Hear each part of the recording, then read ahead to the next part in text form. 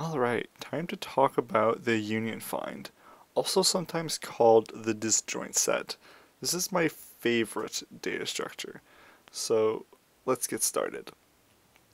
So an outline of things we'll be covering about the union find. First I'll be going over a motivating example magnets, uh, just to illustrate how useful the union find can be. Then we'll go over a classic example of an algorithm which uses the union find specifically Kruskal's minimum spanning tree algorithm, which is very elegant, and you'll see why it needs the union find to get the complexity it has. Then we're going to go into some detail concerning the find and the union operations, the two core operations the union find uses, and finally we'll have a look at path compression, um, what gives us the really nice amortized constant time uh, the union find provides.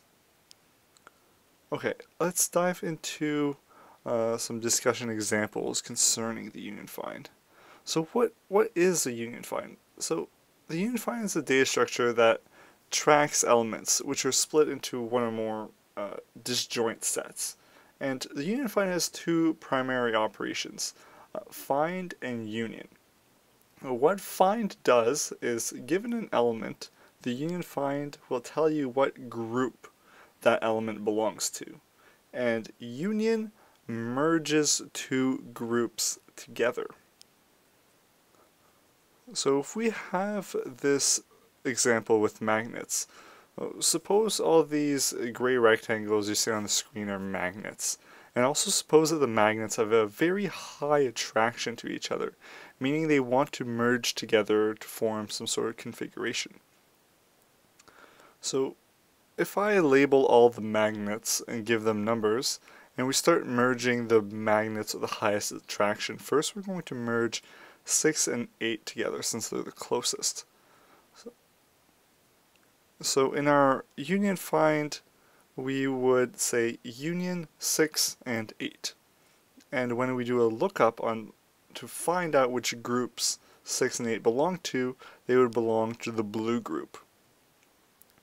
Uh, now perhaps 2, 3 and 3 and 4 are highly attracted to each other, so they would form a group. So they would form the yellow group. And perhaps 10, 13, and 14 would also form a group.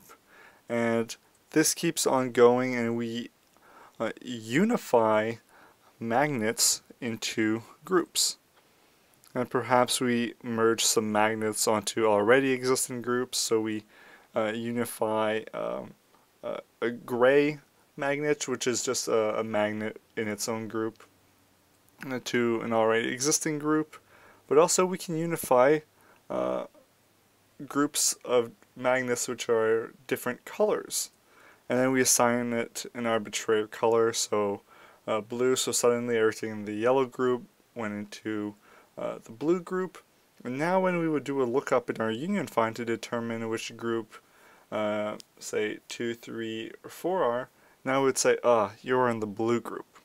And the union find does all this merging and finding in a very efficient manner, which is why it's so handy to have around.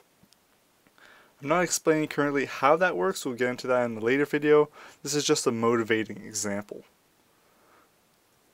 So where are other places that the union find is used? Well, we we well we see the union find again in Kruskal's minimum spanning tree algorithm. Um, in another problem called grid percolation, where there's a bunch of uh, dots on a grid, and we're trying to see if there's a path from the bottom of the grid to the top of the grid, or vice versa. Then the union find lets us do that efficiently by uh, merging together paths. Also, uh, similar kind of problem in network connectivity are two vertices in a graph connected to each other through a series of edges. And also, perhaps in some more advanced examples like the least common ancestor in a tree, and also in image processing.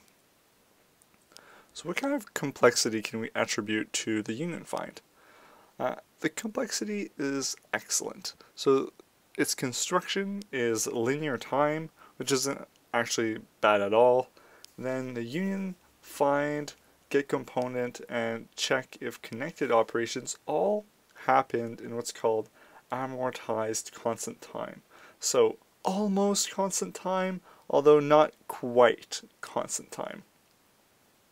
And finally, uh, count components. Well, we can determine how many components, or in our magnet examples, how many different groups of magnets we have, and we can do that in constant time, which is really, really great. So in the next video, we're going to have a look at Kruskal's minimum spanning tree algorithm and how it uses the union find. So guys, thank you for watching, and I will catch you then.